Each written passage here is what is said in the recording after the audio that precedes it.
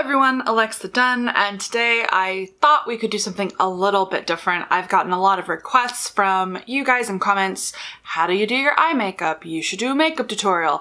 And I've always thought, it's slightly ridiculous because it's a writing channel and I am not a beauty tuber. Sorry, there's a little small cameo for my cat, which is on theme.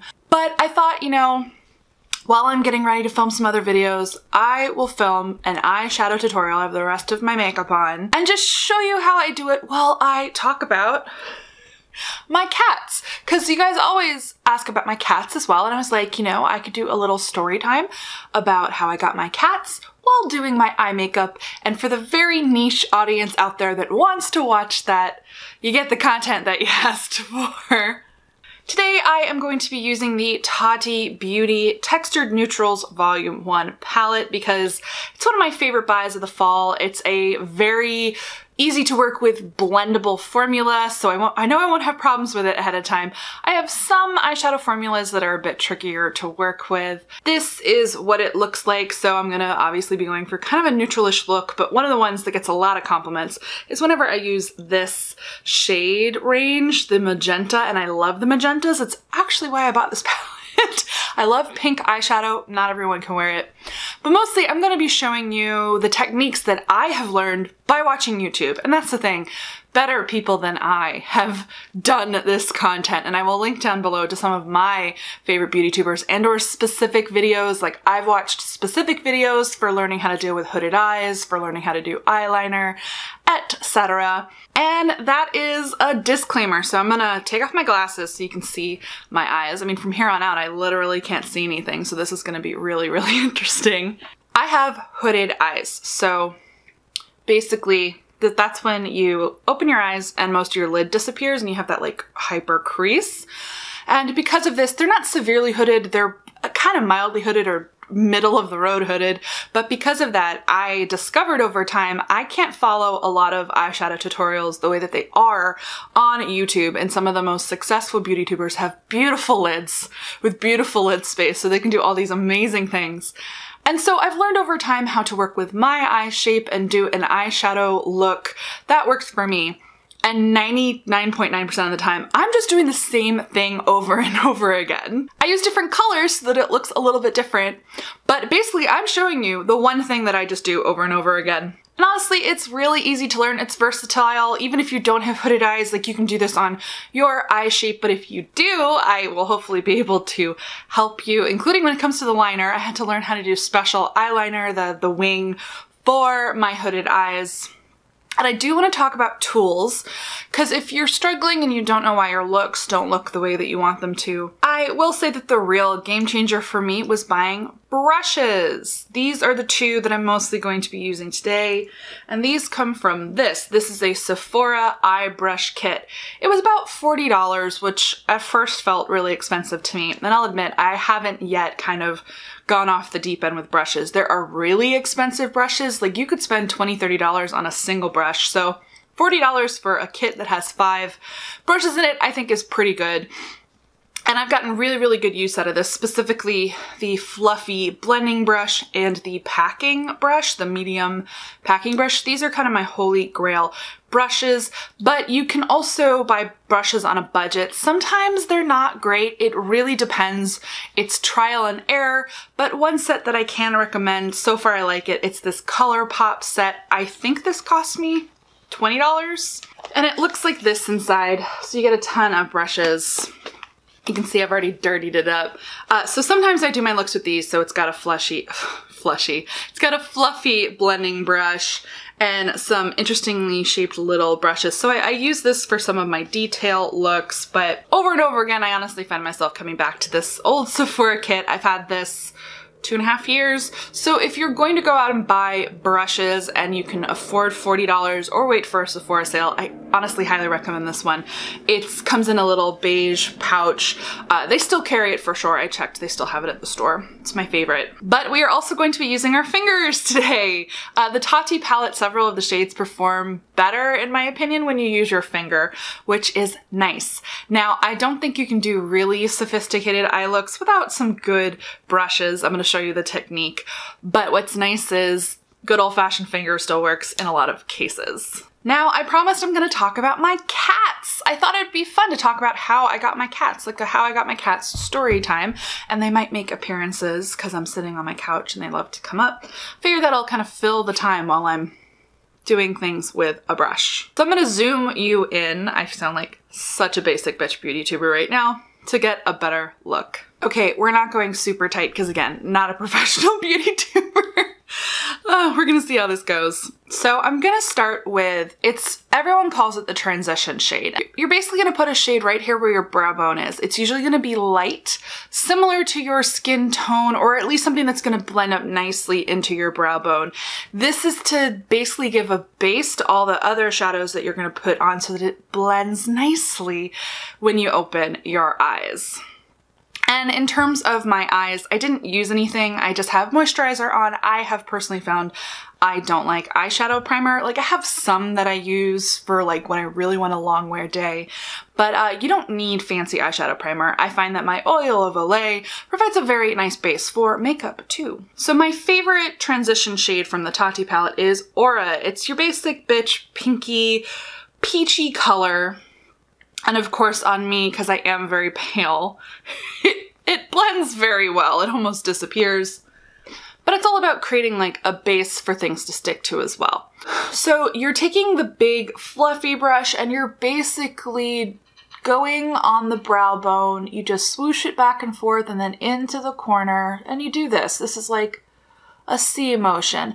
I do it pretty far up onto my brow bone because as you're going to discover with hooded eyes, I have to really exaggerate the colors because otherwise they literally disappear when I open my eyes. And I'll do a little bit of that to build it up. In this case, you really can't see the color. As I mentioned, it blends right into my skin, but that's how we want it.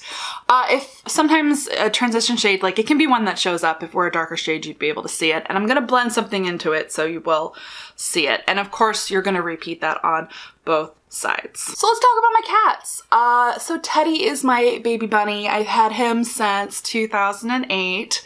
I got him in Boston. And I got him from the MSPCA. I am a shelter animal person. I've always had shelter animals. Uh, when I was a kid, like we got both of our dogs from the animal shelter. Um, and I started volunteering there when I moved back to Boston after living in London for a while. I worked for my university. Um, and sometimes you just do like a, a round motion like that. So the back and forth and it's the round. It's whatever you need to kind of blend it. Um, and that's because I desperately loved cats, but at that point couldn't have one. So I started volunteering at the MSPCA. I specialized in the cats. They had an amazing cat room and I loved spending time in it, helping people adopt. I loved matchmaking for people because I got to know the cats as I was volunteering and I'd be like, oh, what are you looking for? And then I would help them out. Okay, we're going to do our second color. So I'm going to go into Soothe. And so you know about this palette, the bottom row is mattes. These are, there's like sequins in them, which some people don't like them. I don't mind them. They're basically slightly shimmery mattes. Then we have a metallic row. We're gonna have fun with that. And then lastly, glitters. I don't know if I'm gonna do glitters today. This is gonna be a kind of basic look, but so it's basically matte. And this is kind of like a beigey brown shade. And what I like is when you mix it with Aura, it's quite pretty. And we're going to blend that on top of where you have your transition shade, not to completely replace it, but you're basically going on top and slightly under it and blending them together. And the other thing that I did at the MSPCA, uh, I got, they got to know me because I was there a lot. I would go every single week and volunteer for hours. I really enjoyed it. And so I got in my cat time, my cuddle time with other people's cats or just cats. They came to trust me and eventually I kind of got upgraded to working in the back room, in the intake room for cats. Oh, and also because, you know, a writer, I wrote the uh, cards for the cats. I write like the descriptions. I really enjoyed that. And it was a combination of that and I had a camera and I was interested in photography, that I ended up being the person who would go in the back and take pictures of new cats and write short descriptions for Pet Finder. That became one of my duties. And it was also good because they, they came to trust me because the thing about working in the back so the MSPCA is not a no-kill shelter. They are low-kill. Most of the animals are adopted out, I am pleased to say. And like I could tell, like I would see the intake in the back versus who would go to the front. Almost all of the cats went to the front, I'm happy to report, but every once in a while there was a sad or tragic situation and they trusted me to be able to kind of handle that. Something I should say, when I'm blending this in, I'm kind of pulling into the corner of my eye a little with a circular motion because I'm basically creating like a little, almost like a boomerang um, of the color. So you can see when I open my eyes, I have like this, it's almost like a halo effect here. This is what you're creating, kind of that background when you open your eyes. And again, hooded eyes, I've learned over time, it's, it's going above the brow bone so that when you open, you kind of get the effect that you want. And so long story short, when I finally got a job that could support me and a new apartment where I was allowed to have pets, because the first year and a half that I lived in Boston, I couldn't have a cat, which is why I was volunteering, I immediately, like, I think we had just moved into our new house, like just signed our lease and moved in. Within two weeks, I was like, I'm getting a cat. So yeah, I just went to the MSPCA and I walked the room and looked at all the new cats and Teddy just like spoke to me. He was in a cage on the bottom row and like he like reached out his paw. And what I loved about the MSPCA, and it is not the case in every place we'll talk about when I tried to adopt a cat in LA, um, you could open the cages and like interact with the cats. It was totally okay. And I just sat on the floor and I opened his cage and he like poked his head out and he was just so lovey and wonderful. And I was like, that's my cat. And it helps that I have always had kind of a fascination with orange cats. I've always liked ginger cats and I kind of wanted one. Should probably dip into the next color. So since I'm going to be doing a magenta-y look, before I go into this, I'm actually going to dip a little bit into Ritual, which is this brown color. This is also my go-to next step if I'm doing a more straight neutral eye, like a almost like a smoky eye, though this isn't technically a smoky eye technique. But I'm going to do that because it helps to blend into the magenta. And uh, tap off your brush with especially darker shades if you have too much.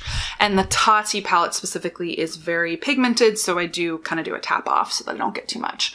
So now I concentrate right on that outer corner at the bottom of the lid going into the corner and I basically do like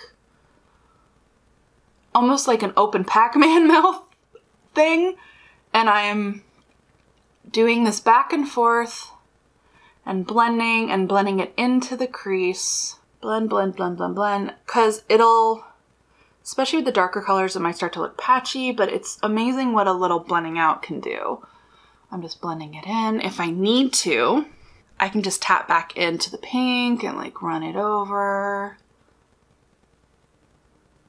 You'll get a hang for all this with trial and error. You, you can just play with makeup until you get it the way that you want it to look. I just tap back into that beige again to add a little more depth, mid-tone depth. I'm just getting it the way I want. And we are gonna return to kind of the darker colors.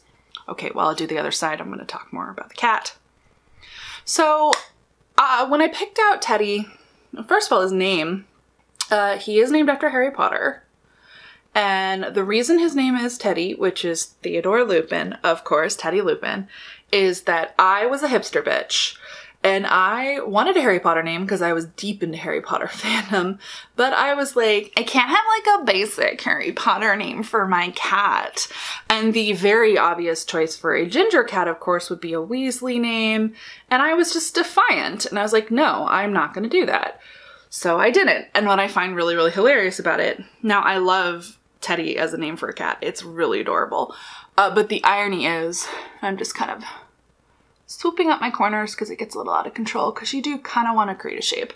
Um, what I think is really, really funny is um, personality-wise, he's 100% a Percy Weasley. And Percy Weasley was one of my favorite characters from Harry Potter, which I know you're going like, wow, you're weird. I agree. Uh, but it's so hilarious that I was just so stubborn that I was like, I'm not going to name him after a Weasley. And personality wise, I really should. Uh, my joking, loving nickname for him is Grumpy Cat. He's not actually grumpy, but he has resting grumpy face. A little bit of it, not like full on grumpy cat. Um, and he's, he's my persnickety cat. Like he's like full on sweet. He's a sweetheart. He's such a good boy. I've had multiple people. My roommate from Boston was the first one. When I was moving, she was like, do you want to leave your cat? I was like, no. She loved Teddy that much, which I really appreciated.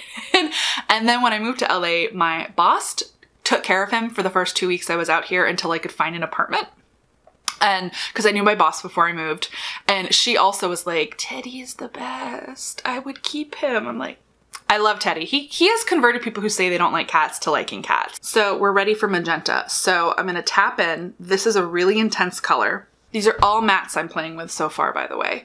And this is to build the look basically on the outer part of my eye. I almost always do metallics on the inner part as we're gonna go over because I personally like that finish. I like the way it looks on my eyes and I kind of like the look that it produces. Again, I told you, I'm really basic. I just do the same eye look over and over again with slightly different colors. So we're gonna tap off. So you have to be very, very careful with the shade because it is so intense. So you're gonna basically go over the same thing that you just did where you did the dark brown, which is kind of that outer corner but also going a little bit on top of it into the center and you're just gonna blend it in. So yeah, I'm a hipster, but my joke to myself with Teddy is he kind of looks like Theodore Roosevelt, and so I'll be like, yeah, that's why I named him Teddy, even though it's 100%. Teddy Lupin, um, when I got him, the vet said that he was uh, three to five years old, so I don't actually know his exact age. Also, just look how beautiful and intense this color is. It's already like transformed the look, which that's the thing. This magenta is a point of no return color. Once you decide to put this into your eye look, you have a pink eye look. Not pink eye literally, that would be bad. Not everyone can pull off pink as a color, but I'm grateful that I can, um, in large part because my eyes are green. So um, he's three to five, and because he was so friendly, they guessed that he probably like escaped from someone's house, that he wasn't feral, that he belonged to someone. But at the same time, he was three to five and he wasn't neutered, so that was interesting. They had to do that before I got him.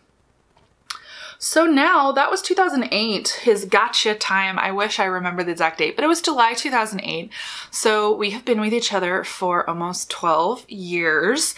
So that means he is 15 to 17 years old, which is vaguely terrifying because I want him to live forever because I love him so much. I'm very emotionally attached. Um, but yeah, he's my muffin. Uh, they're both my muffin. That's one of my favorite pet names for my pets. Um, so when you see a tail in a video, that's always Teddy. So sometimes I'll just open my eyes and look in the mirror to kind of see what the open eye look is and I might kind of build up in specific areas to kind of create more of the color story I want. The hardest thing is to get the two sides to look the same and my two eyes don't perform the same. Uh, like this eye will be patchier a lot of the time. Maybe it's because I always do it second, but very often my left eye will end up looking way cuter. My eyeliner on my left eye is almost always better. Uh, they can be cousins, not not twins. It's fine. Sisters, sisters, not twins. Just like eyebrows, because my eyebrows aren't the same either, for sure. Okay, so now I'm more or less done with mattes. I'll come back a little. Um, and I haven't even used my packing brush yet. That's later. We're going to use our finger.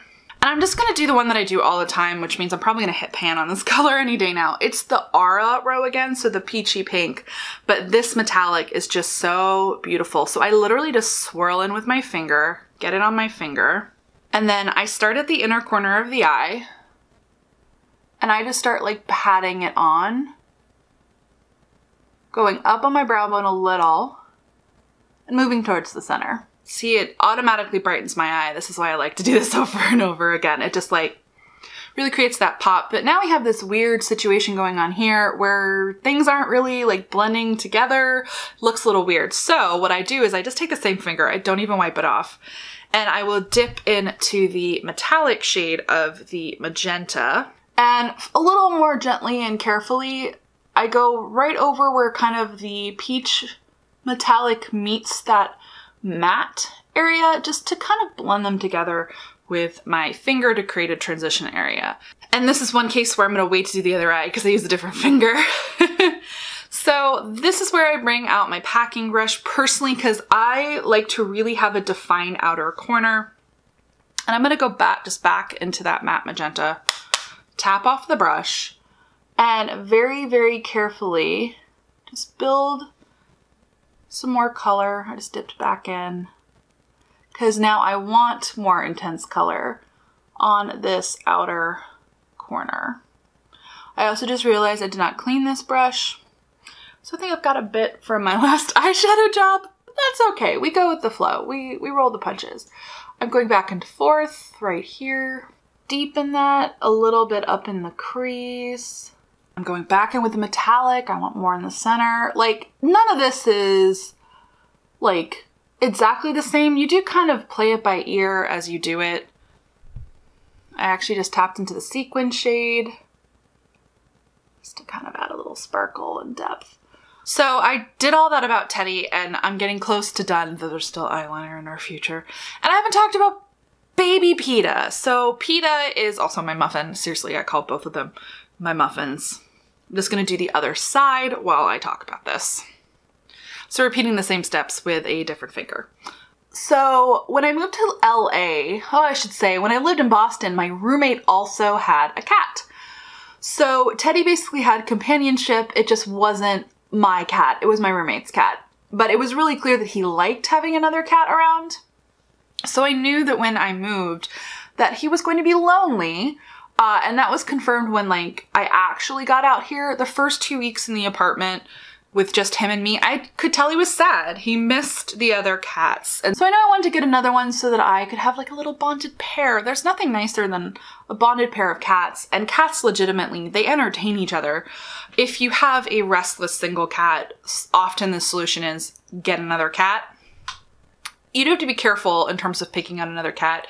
Because of course cats are, I mean, this happens with dogs too. Like some dogs don't like being with other dogs, but with cats, you do have to be very mindful of their gender, their age, their disposition. I knew that Teddy could get along with both boys and girls, but my roommate had a girl cat. And so I thought, oh, I'll get a female cat. See, I'm telling you, this left eye looks better than the right eye. It's not fair.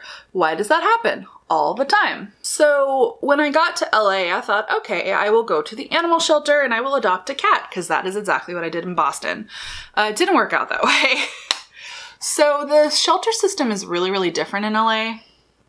It's all public municipal shelters, whereas the MSPCA, which while a public shelter, is also part of a broader nonprofit. It's a cousin branch of the ASPCA. I think the MSPCA was the second animal shelter founded in the country like ever because Boston is so old.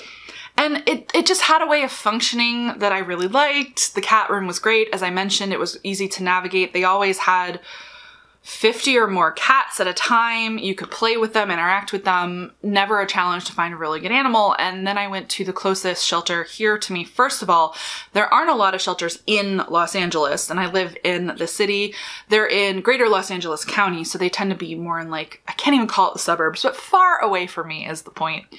And they're very high kill here as well, which is incredibly depressing. Like, I don't even want to think about it.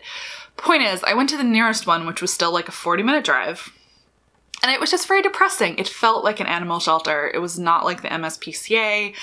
They had this tiny cat room that maybe had 12 cats in it. The cages were all padlocked. You had to get a volunteer to open it for you to interact with like a single cat. And they all were kind of lethargic and sad, which isn't their fault, those poor cats. They're just wasn't a cat that seemed like the right fit. I didn't feel a connection. And you're like, oh, how wishy-washy. But it is actually important. And we're going to talk about like how I actually got PETA. So I started to look into alternate methods and this is where I discovered, oh, I've stopped. I should keep doing my makeup. So before I continue, a very, very, very delicate step. I do not always do it, but I'm going to do it now. Oh, the light's changing. Great. This black is deep as hell. It is great. It is a very, very good pure black. It's one of the best blacks I've ever had in a palette, but a little goes a very long way. I'm only gonna tap in once and then really tap off the brush. Because what I'm gonna do is very, very, very carefully deepen my corners even more so that the where the magenta already is, there's a teeny tiny bit of black and it's just a little bit more dramatic. So Animal rescue just works a little bit differently in the Los Angeles area. It's, well, literally all about animal rescues. Um, there are does hundreds of them. They're all individually started nonprofits. They really vary. Some are sketchy, some are not. Um, Los Angeles County definitely ends up having problems with hoarders every once in a while where like someone gets busted. It's a whole thing. It's a very interesting um, thing to adjust to. So there's a lot of rescues and fostering as a system. And it's actually a long dramatic story that I don't even think I should tell in full in this video. I tried to foster an animal and I ended up getting entangled, this is the short version, with a sketchy person running a rescue. That's the thing. They come in all shapes and sizes. Clearly someone who, if she didn't have mental health issues, she was definitely a liar. And she concealed information from me and lied to me about the cat that I was supposed to foster and basically dumped me with a very, very sick animal. I'd only been in LA for two weeks. And at that point, I mean, now too, I mean, Teddy was really, really sick last year and I had to do sick animal care and we got through it because he's my baby. Uh, but especially nine years ago, I was not qualified at all to do medical care for cats. I never did any of that in the animal shelter. And she told me the cat was like had one day of antibiotics left and would be fine and i administered the one day of antibiotics. This cat was not fine. It had a bacterial infection that is highly contagious. It was not litter box trained. That was another lie. Um really poor sick cat. Sweet but incredibly ill. But because the cat had been in a hoarding situation and literally couldn't use a litter box um, i couldn't let it out in the apartment i had to keep it in the bathroom because when i did let it in the apartment it had um, trigger warning for grossness uh, explosive diarrhea on my rug and here's the long story short Teddy got really, really sick. The cat infected my cat with a bacterial infection that is highly contagious and can kill cats. I'd been here two weeks and I don't deal with that kind of anxiety on a good day. I was so terrified for my cat, but mostly this poor animal, I it was so beyond my skill. I'd only been working at my new job for two weeks as well. And the first week I started my job, I got the flu. So what a time in my life this was. I was also lonely. I'd left behind all my friends. Long story short, I realized I was incapable of caring for this animal. It was beyond my capabilities. And I knew that the best thing for that animal was to be with a far more experienced foster. And so I had to give the cat back. Otherwise, I had been thinking I wanted to foster to adopt, but it just wasn't going to work out, especially because Teddy got sick, blah, blah, blah, blah. So then I had to start Teddy on antibiotics and I did give the cat back. And that weekend there was an adoption fair. So once or twice a year, I think it still goes on, there's a Best Friends Animal Society adoption event and there was a different rescue that I had been communicating with and I offered to be a volunteer at the event and help them work the event. So I did. I did a day of volunteering with this group, just kind of like standing there and like helping to process adoption paperwork for people, help them handle cats. And on one of my breaks, I did a turn of the room and I saw PETA in a cage. Just this gorgeous, fluffy ginger Maine Coon. And I was like starstruck because so Teddy, when I first got him, he's fluffy and he's beautiful. And I was like, what are you? And I determined eventually that most likely it's time for eyeliner. This is the scary part. And we'll finish off after with inner corner as well as below. I've never done eyeliner on camera and this is terrifying. First of all, brand. This is the Sephora Brush Tip Liquid Liner. It's basically a dupe for NYX Epic Liner. Um, I've transitioned to using this because it's a few dollars more expensive, but it lasts a little bit longer. Um, NYX Epic Liner is a very good dupe for Kat Von D's liquid eyeliner, but it basically gets like runny and splotchy after a month or two of use, which is not ideal. This lasts longer. So I just happen to like brush tip liners. I know a lot of people like felt tip, but felt, felt has never really done it for me. So I use brush tip and so this is my current one. This is really scary. So eyeliner is really, really hard and there's a dozen different ways to do it. I do have to be very specific because of the hooded eyes. If I get carried away with liquid eyeliner, all the eyeshadow is going to disappear because, well, you can see my limited lid space. It has to be an incredibly thin line, and then there's a special technique for doing the wing.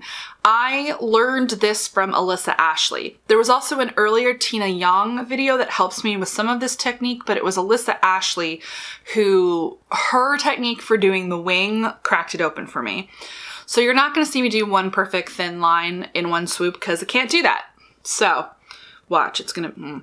So I always start not quite the middle, not quite the corner, like slightly in between those two, drawing a very, very thin line. I steady my hand with my pinky somewhere on my cheek. Hopefully there's no makeup on that pinky. Be careful, I've done that before. Okay. And I do, oh, I'm so nervous. Teeny tiny line that I kind of, I try to go very thin along the lash line out to the corner. Your corner can get a little thicker. And then once I do that, I go back to try to get the inner corner. Okay, this is a start. very, very thin line. Obviously that looks patchy and undone because it's patchy and undone. Then I always fill out the corner a bit. I always have trouble because my blonde lashes actually obscure what I'm doing a little. So I just do my best. Fill it in. Because this is going to be part of the wing. Or it's going to flush into the wing. Sometimes I'll close my eyes. It's okay for it to be thick on the edge, so I'll do a little extra. You can kind of see I'm developing the shape. So Peeta, um, who's named Peeta now and was not at first. Oh, I was talking about Teddy being a Maine Coon. I was sure he was something, and I just did a lot of research into cat breeds. I was like, I think Teddy is part Maine Coon. Now that I have Peeta, who I think might be half Maine Coon. It could be full, except he's not perfect breed standard, so I think he might be half. That means Teddy is probably not quite half, he's less than half, but regardless, there's Maine Coon in them and there are certain traits, and the reason I kind of wanted another Maine Coon is just that they're the sweetest cats. I'm pretty sure a lot of Teddy's disposition is his breed traits. And they're fluffy, and basically by getting a long-haired cat, which I did not set out or intend to do when I got Teddy, I fell in love with them including the bad stuff. There's so many hairballs, and you don't want to know about when their butts get dirty. It's real bad. All right, we'll save. Normally I do one full eye, but we're gonna save the wing. I'm gonna do the other side while I finish talking about Peeta. So yeah, he just stood out to me in the cage. I asked if I could take him out to play with him. He honestly wasn't too cuddly, uh, cause he was 10 months old. He was basically a kitten. Giant though, like full grown and they're like, oh, he's 10 months old. I didn't set out to get a young cat because I had previously gotten an older cat. And what I like about older cats, this is me doing my part for the older cats of America. Older animals, period. Same thing with dogs. Their personalities are set. Puppies and kitties can really change. Like when they're young, first of all, bad habits can get set into them if you're bad at raising them. Um, but also just personalities and animals can really change between when they're babies and when they're proper adults. So what's nice about adopting an adult is that what you see is what you get. They're set in their personality. Uh, they usually they shouldn't have behavioral problems like a shelter should disclose if they do. I'll tell you the one caveat with Teddy that I don't have with Peeta, but there's pros and cons. Anyway, he's Peeta was 10 months old, so he's a little energetic. We bonded enough. He he didn't really sit still, but he was beautiful. Have you seen that cat? Maybe you haven't. He's beautiful. If they, they're napping now. I will try to get them on camera before I'm done. So again, repeating the same step. As in all things, my left eye is always easier. And that sucks. It's probably because I'm right-handed. I don't know. Build the outer corner carefully. Time for wings! Here's the thing, uh, the rescue, because it was a rescue who was at this adoption event, they said he was a girl. so I think I'm adopting a girl cat. And I filled out the adoption paperwork. I was able to take him home that day. Uh, at the rescue, his name was Tiffany. Like, legit, his paperwork said he was a girl. Pete is very, very fluffy for context. So, um, but already, well, it turns out he was already neutered, but they said he was fixed. Because, you know, this rescue neutered and fixed all their animals before adopting them out to control population. Makes sense. Um, my guess is that they got a litter from someone, multiple cats, boys and girls, and they literally mixed up the cats. Because that's the only thing to explain how two weeks later, so I adopted Peeta and everything's great. I named him Ella because I thought he was a girl, like Ella Fitzgerald. Oh no, Wing. Okay, I'll finish the story first. So, long story short, I caught him bathing. It became incredibly clear he was not a girl. Peeta was a boy. So I had to rename him. Uh, not that he couldn't be very secure in his masculinity with the name Ella. That would not have been a problem. But I like, I like very specific, appropriate names. And I don't know, he just was such a Peeta Mellark. A giant, kind of tubby, he's so cute. Ginger cat who just wants you to love him. That's Peeta. He is my eager, lovey boy. Teddy's like a little persnickety but sweet, and Peeta just desperately wants you to love him. So he's he's a Peeta cat. So that is how Peeta came to be and how he came to be named Peeta. And happily, though he is a boy, both of my boys have bonded very, very closely. They sometimes struggle for alpha. That is definitely a thing that happens, which probably would have happened even if one of them was a girl. Female cats are actually very, very territorial. So they fight every once in a blue moon, but mostly they snuggle and they bathe each other and they're adorable and I love them. Let's wrap this up. The wing. Okay. So scary. So the way that Alyssa put it, I'm going to link to her video because she's better than I am. So you can kind of see when your eye is open where the end of the crease of your eye ends. Again, this is for hooded eyes. So you're going to start your line out here using kind of a visual. You can actually do like a tracing thing where you like make marks, but I've done this enough that I don't have to anymore. Where you start the edge so that you know that when you bring it in, you will not cross your crease. That's the important thing. So you start out here and then you bring it in. Oh, great, it's drying up. That's really great. Eh. What a day for this to get a little dry. And then you just start filling it in, basically. You can take your time, as you can see I take my time, to create this little V. It's not my best wing, but it's functional. Uh, the one nice thing about wearing glasses is that it only has to be functional because I'm just going to put on glasses. Now, you see when I open my eye, you can still see most of my eyeshadow, but that I had to come up on my brow bone so that you could really get the color. That's why. One of the hardest things is getting a crisp line, and now go figure, I was like, oh, I use this because it lasts longer. I think it's on its last legs. Whatever. The other side is much easier. For some reason, I find it easier to do my left eye, to do an actual proper kind of tug in. And it always just looks so much cuter. So I just basically repeat the same thing. Start out here, drag it in to connect to the line, and then fill in. Yeah, I ruined it. It's fine. So when you mess up, hey, just extend it. Make your wing larger. Sometimes in a real pinch, I have to drag the line up over the lid and I do lose some of my eyeshadow space, but see, that wing is so much cuter, but it's fine. Last but not least, I'm actually really gonna half-ass this because I feel like it. I'm gonna take this medium fluffy brush. It's not even the best brush for this, but I don't care.